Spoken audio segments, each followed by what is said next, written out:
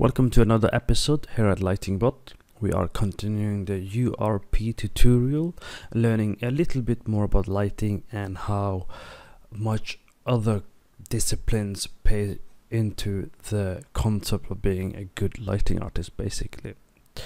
Uh, however, it takes a lot of time to make these videos uh, on the level that I wanted to, so they will be going over into paid tutorials and paid mentorship. So from now on onwards, I will just fine touch the key ideas.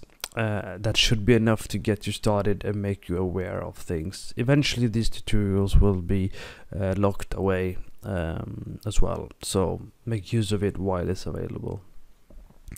So on our last video we ended up on three point lighting, you were kind of understanding the different ways of doing lighting. And basically what I've done, I've created a you know different setup to explain the next topic, which is the color part of the lighting, is understanding how color um, conveys mood and also how color can ruin your image if you don't understand what you're doing.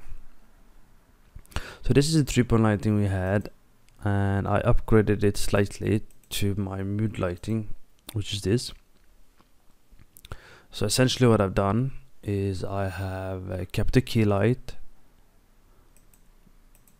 I've uh, kept the backlight I've added a, a, stronger rim light and I've added a fill light uh, I kept the fill light. So the main difference is I added the rim light uh, which I didn't do in my previous last three point lighting. Another thing you'll notice is I went for what I call um, split monochrome lighting, which is basically me picking a key light and backlight to be more or less the same, but I'm keeping it the same value, different value, but the same color. So they are within the same color, but they have different values and tone to them. The same goes for this one. They are within the same color, but they have different values added to the color itself. The saturation is different. Of course, the intensity as well is different. So what is this important? This is important because if you pick the wrong color and they all happen to be the same and the surface tends to be the same, what you end up with is no difference in value and your image will look flat. So what does this mean? Well, these are all different colors but even though they're different colors they all have the same saturation aka value. So unless you tweak those values when it comes to great lighting and mood you end up with nothing. That's good. You just end up with a flat picture. And that's why often when you go places and ask for quick feedback they'll just keep quickly tell you it's flat. But this is one of many reasons why it is flat. So basically that means that if I were to add this image you can see this is monochrome but it's using the colors very intelligently right?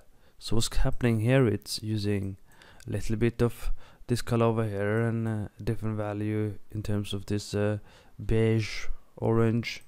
Then it goes a bit darker brown and even darker brown you know and then mid brown and it's all to create the depth and form and shape now if I do the saturation off you'll see you can still see the painting it's clear as day you can see all the shape all the form and you can also see the colors right? You can see all the values that's been used in the image. And that's basically what that means. So in the context of what we are doing that means that if you play with the values like we have been doing and I took some images ahead of time to save and make this uh, quite short.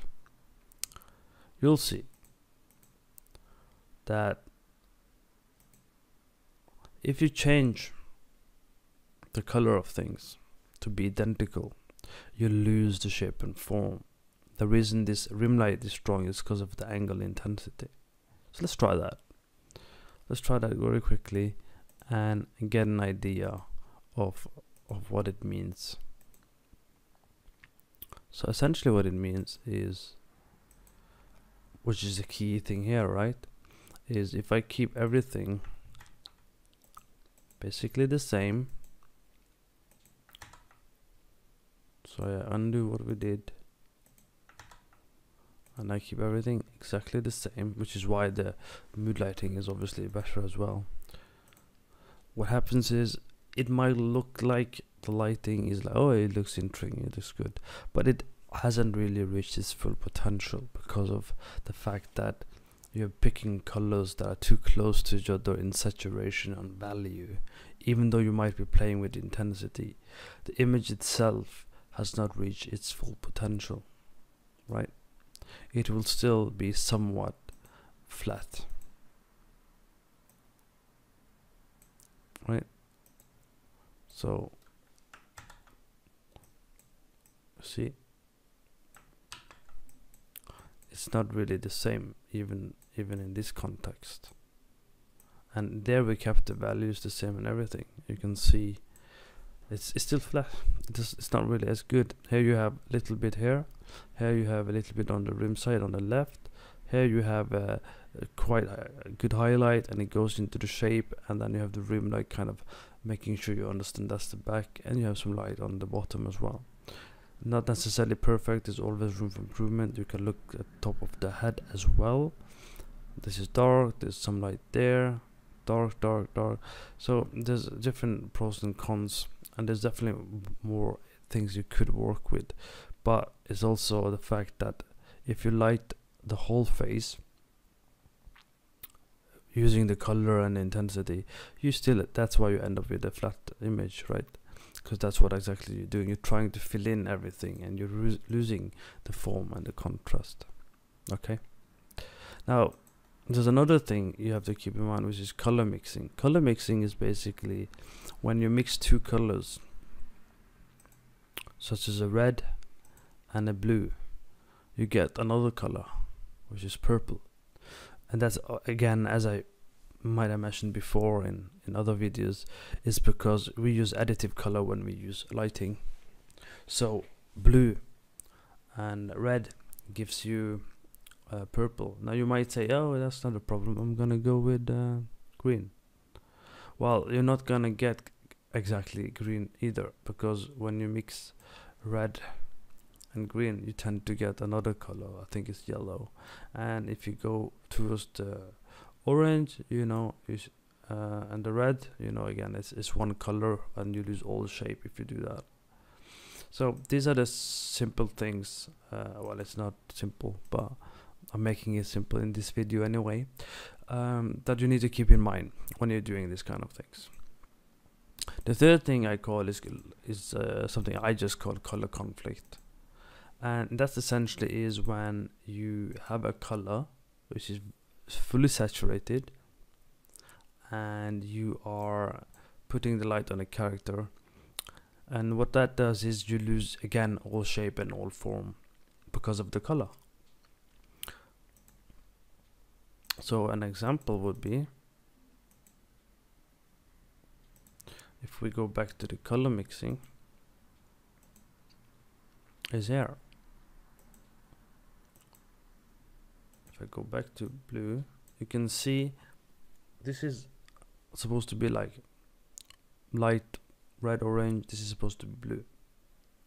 And if I do white on one of them you'll eventually see that I'm starting to see the true shape or the colors of the of the form of the character.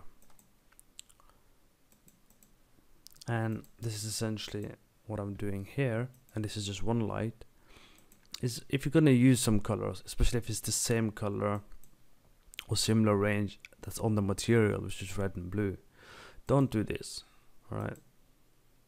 All this does is, is, is eliminate everything you know? It looks like you didn't light the picture at all. It's just black and flat. But what you can do is you can keep it you know around the mid-range and you'll get the color and you'll see that certain colors that bring out the shape and other colors they don't. So in this context that's why in the beginning of the tutorial we went with a bit of a light orange or or um, a teal because it matches within the range of the material but we keep it desaturated so it's closer to the white. But it's still a color right? There's a there's a big difference between actual white and the teal. There's a big difference between um, light orange and actual white you see the true color of the materials. So these are the things I want you to think about when you do your lighting is is what color did I pick? Is it too saturated? Is it saturated?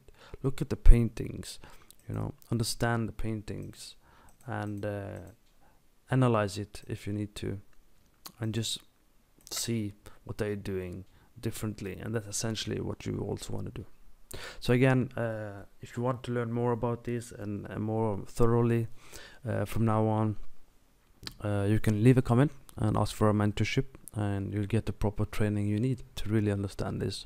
Uh, hopefully this video is short and concise and it gives you an idea of how to deal with color when you're doing your lighting uh, be it Unreal or Unity in this case. Uh, thank you for watching and have a nice day